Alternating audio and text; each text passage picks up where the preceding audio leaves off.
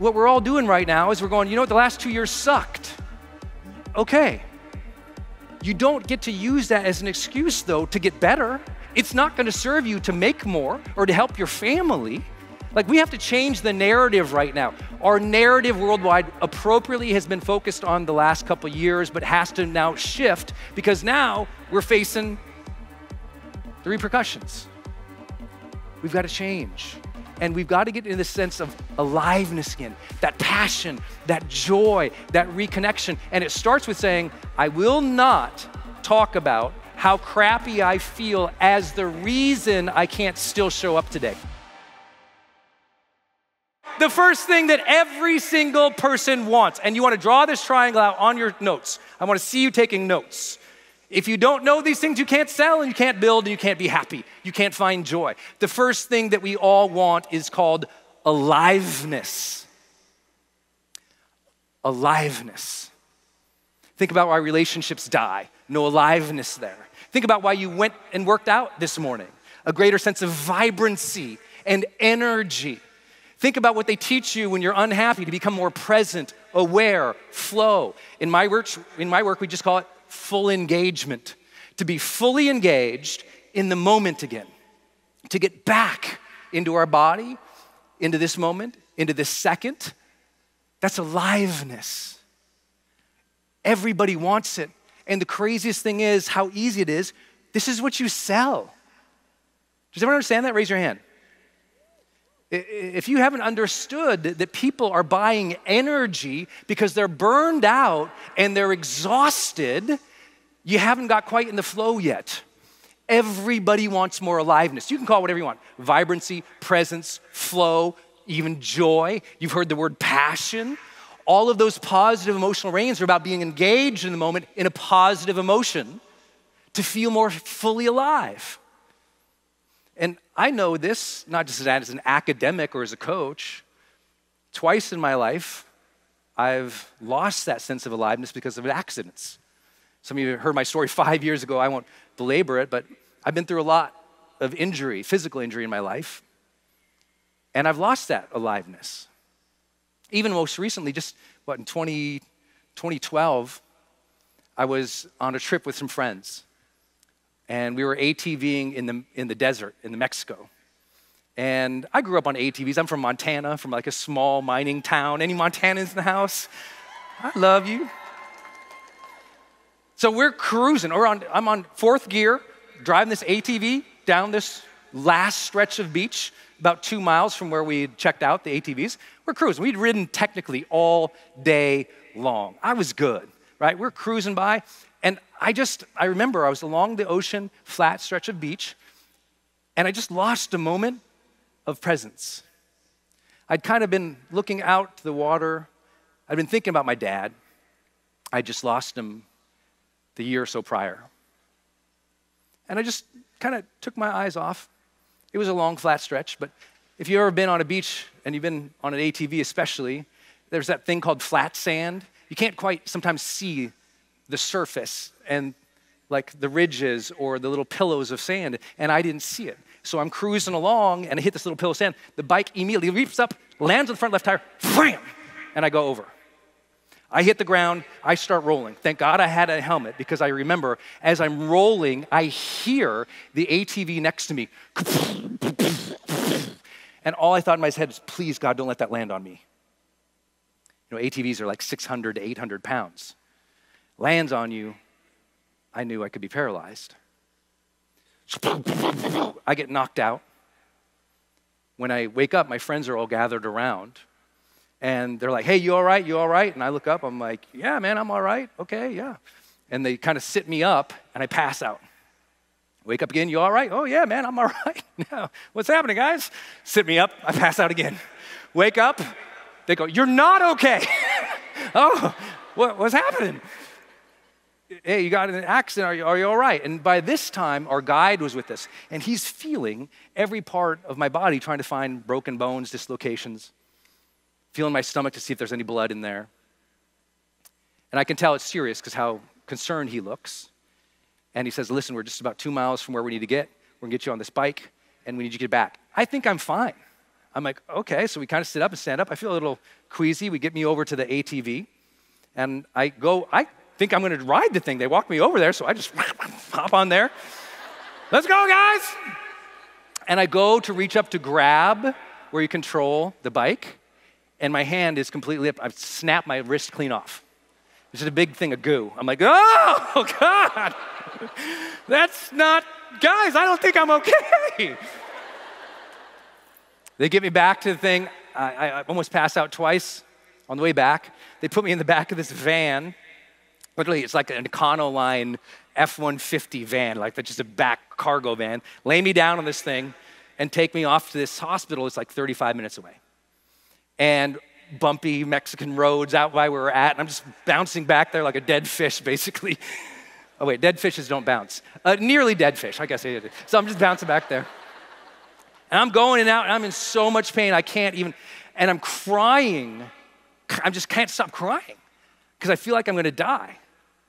And I'm like, I'm not, I don't wanna die in the back of a cargo van somewhere in Mexico. Sounds like a movie. I'm not, I'm not a secret agent or something. I'm just like, like, this is not the way I'm supposed to go out. But I was really scared. We get to the hospital, and where we'd pulled up was this like kind of local little infirmary, and no one spoke any English there. None of my friends spoke Spanish, just the wrong place, wrong time. And so they lay me on this gurney, they take me in, they set me down, and a woman is trying to come up and communicate something, but I can't figure it out. My friends are there, they're trying to figure it out, and they're all got the phones out trying to translate, no reception. I mean, it's just like, which is a bad situation. Well, I find out later what they're trying to do is ask me if I'm allergic to any painkillers because they want to help me with the pain. I don't know. I just lay in there, and it takes about 45 minutes for the ortho guy to get there, and he spoke English. So in that 40 minutes, I'm just sitting there deepening and deepening and deepening into the pain. And think I'm gonna die. I can tell something is really wrong inside. I'm having trouble breathing. My stomach really hurts. My side really hurts. When they put me in the gurney, I almost passed out again. Something was shooting through my hip. It hurt so bad. And I remember laying there just thinking, God, how precious life is. I know some of you faced that before where you were in the hospital and you didn't know. You just, you didn't know what was wrong with you. Sometimes that's the scariest health things, right? Sometimes when the health goes bad and you know what's going on, it's, it's, it's one thing, it's a noble thing, but when you don't know what's happening, that's terrifying. Doctor came in, checked me over. He says, Okay, well, your wrist is snapped off. I said, Yeah, I saw that. He says, Well, you also threw out your hip, dislocated your shoulder, and broke your ribs. I'm going to have to reset your wrist right away. I said, Okay. I didn't know what that meant. Sounds good, doc. Do, do what you got to do. My friends who are all lined up outside this little room and just hear me go, resets the thing, puts it in. Turns out later, I'll tell you that story, but I, I, I am screaming before the meds hit a little bit. And then now I got to get home. I got to go home. My friends get me over to this, this plane, get, get me on the plane, get me back home. My friend literally carries me into my house. Now, Denise has no idea any of this has happened. So I'm returning from a two weeks with the guys. My buddy carries me into the house. She looks at me. I'm covered in the dirt and the filth from the ride still. I'm disgusting. There's blood everywhere. Because she's like, he comes, sets me down on the couch, gets me comfortable, looks at her, and she's like, and he goes, see ya. She's terrified. I'll call the ambulance. I'm, like, no, I'm fine. He reset the thing. I, it's just, I, I'll be all right, all right. No, we, we get over to the hospital. They x ray my, he had set my hand off 12 degrees. Yeah, some of you know how far that is, right? 12 degrees doesn't sound like a lot. It's, he did a real bad job. So they had to go into surgery right away. They had to reset it. They helped me reset my, and fix my shoulder. And I went through probably the hardest six months of rehab I'd had. And then my life really fell apart. At the stage, I'm doing arenas around the country. I've got a best selling book. I'm, I'm working with Oprah and her team. I'm, I'm, my career is going like this. And all of a sudden, I realized one time coming off stage, kind of like this, I go backstage, and usually I go back there, I'm so happy. I got to do my passion, I got to talk with people, I got to help. I went backstage, and I didn't feel anything. No joy, no sense of celebration. I didn't feel anything. The aliveness was gone. Who's ever been there? Where what you're doing should enliven you, and then it's gone. And you don't know why. I have all the reasons, right? Sometimes you have all the reasons. You got the car, you got the house, the kids kind of like you. You got an income, you got a great opportunity, and there's no aliveness to it. What is happening? Well, for me, what had happening was my brain was swelling. I had that accident, and they checked every part of my body, but they never checked my brain. So, over those six months, my brain was swelling. And one day I'm doing a video, and one of my, you ever do a video and you notice something later on, something's wrong with you? You didn't know it when you're doing the video? And someone tells you something's wrong? And what happened was my videographer, I was doing a video, and my eye, my right eye went, whoop, whoop. I'm talking directly at the camera about motivation or something. My eye goes, whoop, I mean, it was goofy. And I was having trouble writing. I was getting really short with my wife. We were having the first major conflicts of our marriage. I couldn't figure out what was going on. So I'd called a friend who had, had a lot of expertise in psychiatric work, and he told me, I think something's going on with your brain. Go get it scanned. I got it scanned, and sure enough, brain was swelling, and I had to go to an immediate treatment. And you know what's funny? When you hurt your brain, what they often tell you to do is work on your mind and the rest of your body to heal it. Right? Because you can't quite get to the brain, so you have to do everything else to improve it. And I got the healthiest I've ever been my entire life in the next year. So healthy because they said, listen, you've got to optimize your body if you want to optimize your brain. These two work completely well together. If you don't take care of your body better, your brain will never optimize. And I really finally got it. I finally got that thing that you already teach and you already know here. I know I'm preaching the choir, but I finally got it. Later in the research, we found out that the top 5% of the wealthiest, most successful, and happy people in the world are 40% more likely to work out three times a week than the other 95% of people, quote unquote, below them. Think about that. The top 5% of the most successful people in the world, not in my opinion, but an largest academic study of high performance that's ever been done, the top 5% are 40% more likely to work out three times per week than everybody else. Same true for those who recover from all sorts of challenges physically and mentally. You already know this, I'm preaching the choir, but that's when I got it. Got my workout back in shape, got my mind back in shape by sharing some of the things I'll share with you today. And all of a sudden, the aliveness started coming back. But the most important thing was I didn't make excuses about how crappy I felt. Who knows what I'm talking about? See, what we're all doing right now is we're going, you know what, the last two years sucked. Okay. You don't get to use that as an excuse, though, to get better. It's not going to serve you to make more or to help your family. Like, we have to change the narrative right now. Our narrative worldwide appropriately has been focused on the last couple years, but has to now shift because now we're facing the repercussions. We've got to change.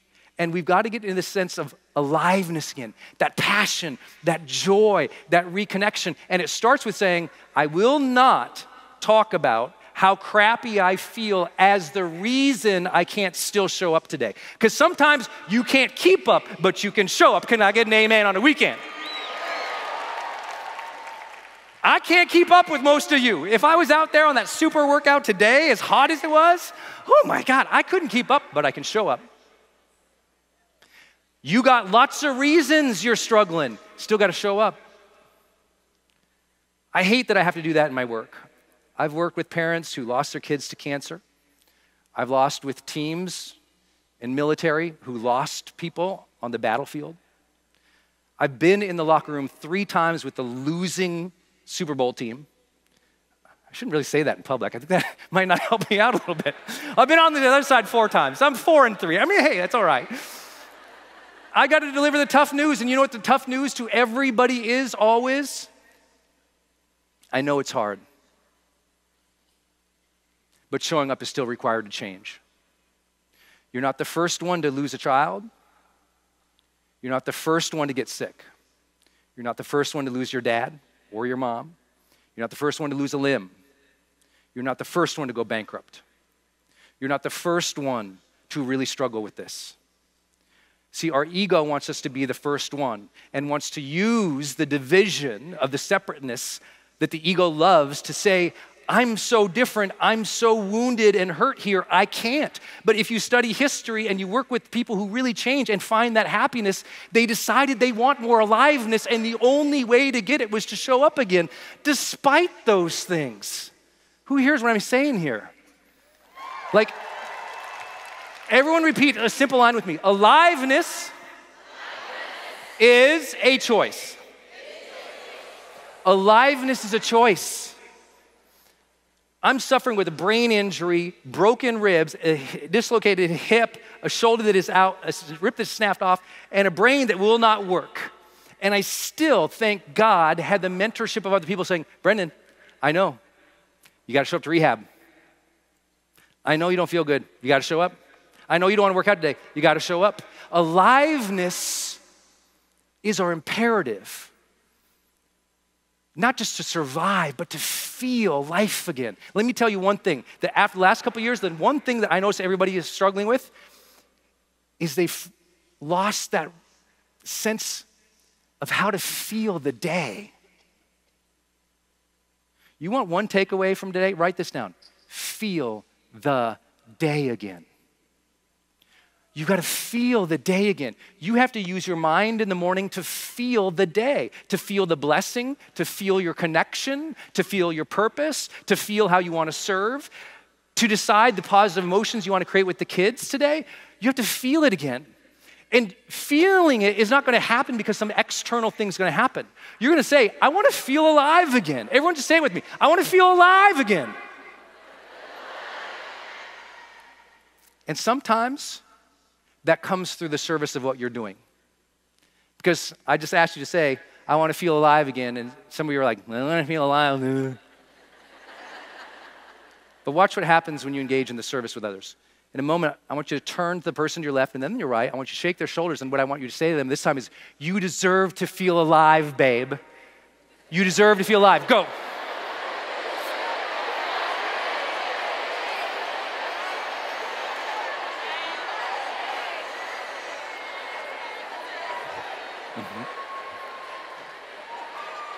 Who thinks that feels different? Say, that's me. That's why we're here. You first have to feel the day again. Your people need to see you alive and alert and present and engaged and joyous again. And that is a choice. It's a what? It's a what? If, if you don't show up alive, I'm not buying from you. You don't got to show up skinny. You don't got to show up with a six pack abs. You don't have to be able to do that Jericho thing. I can't do that. You might not be able to keep up, but you can. You see what I'm saying? Aliveness. Who feels it in the air and the energy right now? Say, I'm here. It's here. You're, you're creating this. I'm not making you alive, you're making you alive. Your brain's going, yeah, man, I deserve to feel the day again. It will not be the economy that makes you feel the day. It won't be your bank account. It won't be your husband finally gets it. Good Lord, you'll be waiting. You will choose to feel the day again. Aliveness will be an imperative and it will change your life forever. Can I get an amen on a weekend? Telling you what, what we all want aliveness